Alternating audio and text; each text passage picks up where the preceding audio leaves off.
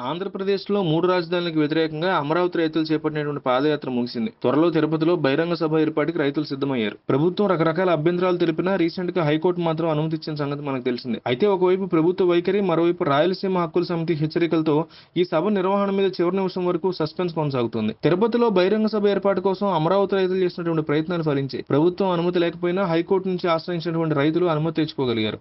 ఇప్పుడు షెడ్యూల్ ప్రకారం మధ్యాహ్నం ఒంటి గంట ప్రాంతంలో రేపు సాయంత్రం ఆరు గంటల వరకు సభ జరుగుతుంది. దీనికి హైకోర్టు కొన్ని షరతులతో కూడిన అనుమతి ఇచ్చింది.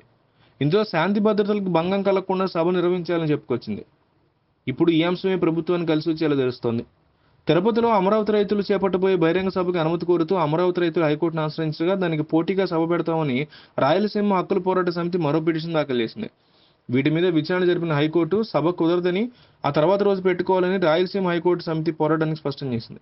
మరోవైపు మూడు రాజధానులకు వ్యతిరేకంగా ఉద్యమిస్తున్న అమరావతి రైతులు తిరుపతిలో సభ పెట్టడం ద్వారా తమను రెచ్చగొడుతున్నారని రాయలసీమ హక్కుల సంఘం ఆరోపిస్తుంది. తిరుపతిలో సభ ఎలా పెడతారో చూస్తామని ఇప్పటికీ హెచ్చరికలు జారీ చేసింది. తిరుపతిలో అమరావతి రైతులు సభ పెడితే ప్రాంతీయ వైషమ్యాలు తలెత్తుతాయని శాంతి భద్రతలు భంగం కలుగుతుందని ప్రభుత్వం హైకోర్టులో వాదించింది. అలాగే కరోనా కేసులు పెరుగుతున్నాయని తాజాగా వరదలు రోడ్ల విషయంలో పాడయ్యాయని వాదించింది. ఈ వాదనలన్నీ హైకోర్టు విచారణలో నిలబడలేదు. దీంతో ఇప్పుడు ఇవే వాదనలతో తిరుపతి సభకి ప్రభుత్వం ఆటంకాలు కలిగించే ప్రమాదం ఉందని అమరావతి రైతులు అనుమానిస్తున్నారు. దీంతో ఈ వ్యవహారం ఎక్కడి వరకు వెళ్తుందనే డిస్కషన్గా మారింది. ఒకవైపు అమరావతి రైతులు తిరుపతిలో సభ పెట్టడం వల్ల ప్రభుత్వ అభ్యంతరాలు ఉన్నా కూడా జగన్ ఈ సభలో పాల్గొంటారంటూ కొన్ని వార్తలు వస్తున్నాయి. ఏం జరుగుతుందో చూడాలి.